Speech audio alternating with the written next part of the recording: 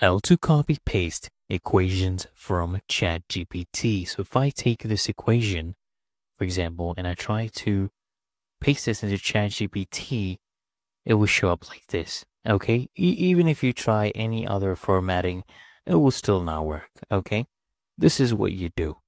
Come back to ChatGPT and give it another prompt. Tell it to give the equation to you in LaTeX format. Okay, then just come here and copy this. Go to this website, formula-generator.com, and just paste the text input right here and click on execute. Okay, and here we have the final output. What you can want to do is right click on this, click on copy to keyboard clipboard, and then choose this option, Math ML code. Go back to your Word document and just paste it. And there you have it, guys.